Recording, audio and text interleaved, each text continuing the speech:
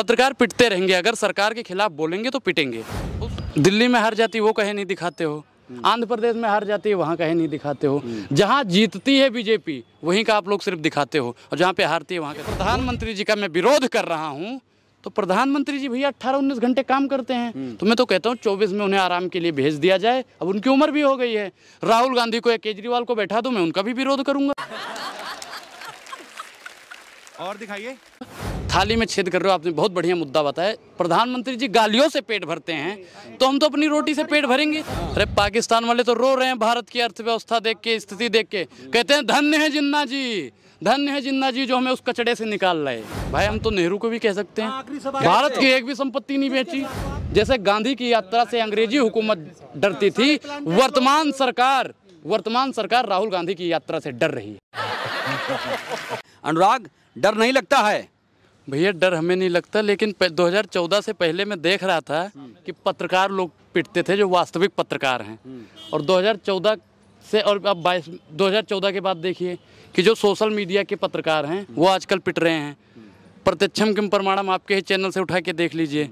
और बाकी जितने भी चाटुकार पत्रकार हैं अगर दलाली नहीं करेंगे तो वो पीटे जाएँगे।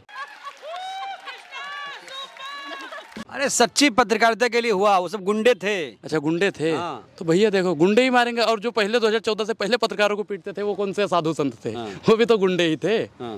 पत्रकार पिटते रहेंगे अगर सरकार के खिलाफ बोलेंगे तो पिटेंगे। उससे तो भैया हम बोलेंगे तो हम भी पिटेंगे। तो हम सरकार के खिलाफ नहीं बोलते हम तो सरकार की नीतियों के खिलाफ बोलते हैं। मोदी जी हमारे राजनीतिक गुरु हैं। दो करोड़ रोज़गार दिया मोदी जी ने। किसको दिया भैया? आपको मिल गया? जनता को देश को। किसको दे दिया बताओ? सोलह करोड़ रोज़गार का लक्ष्य किसको दिया भैया रोज़गार तो बताओ। जनता को युवाओं को बेरोजगारों को। तो बेरोज भैया हमें तो नहीं मिला। इन्होंने अच्छा लायक नहीं थे। आप तो आप तो लायक थे ना? आप लोग अच्छा आप अरे भैया हमने गृह मंत्री जी के हम अनुयायी हैं उनके कहने पे बारहवीं के बाद इंटर किया। फिर भी रोज़गार नहीं मिला। के बाद इंटर कैसे होता है भैया? ये तो भैया हमारे गुरु जी ने कहा था जी हमारे राजनीतिक गुरु हैं। अमित शाह जी उन्होंने कहा बारहवीं के बाद इंटर करो। हमने सोचा भैया हो सकता है इससे रोज़गार मिल जाए इससे भी नहीं मिला। और हमारे बहुत साथी हैं जो पता नहीं कौन कौन सा इंटर कर चुके हैं उनके कहने पे। उनको भी नहीं मिला। कहाँ इंटर किए बारहवीं के बाद? बारहवीं के बाद कहाँ इंटर किया? दिल्ली में।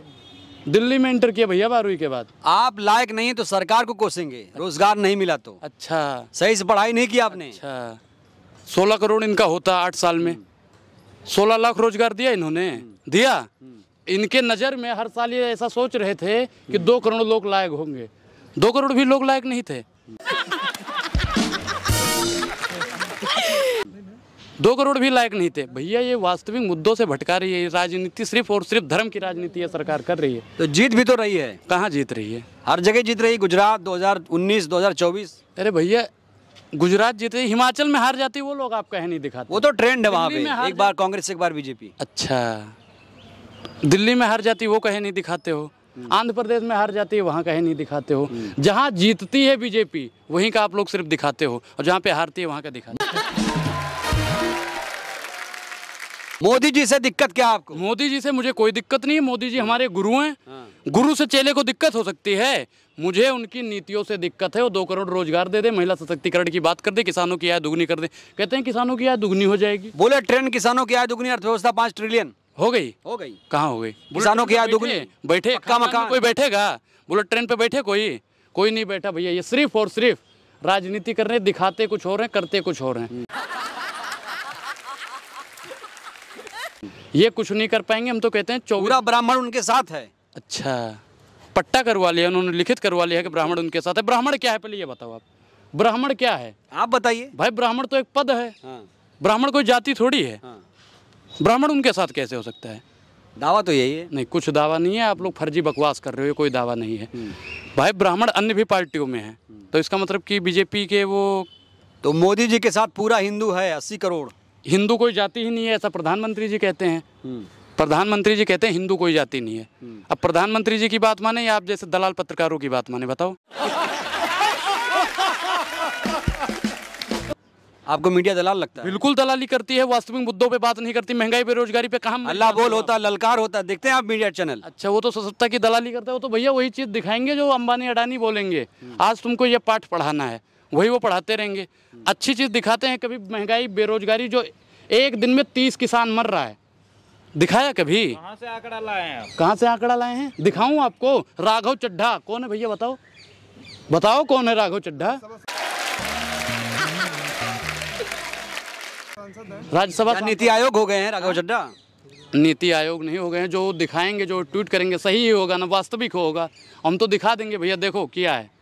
हम अपने मन से बर्ग लिया के नहीं बोल रहे हैं आपकी तरह। मोदी की तारीफ़ नहीं कर रहे हैं तीस किसान मर रहे हैं। इसका जिम्मेदार कौन है? किसानों की आय दुगनी करने की जिसने बात कही थी वो किसानों की आत्महत्या का जिम्मेदार है। महिला सशक्तिकरण की बात की थी जो महिलाओं को नोचने का काम करते हैं तो महिला नोची जा रही है तो उसका जिम्मेदार कौन? For more update subscribe to our channel,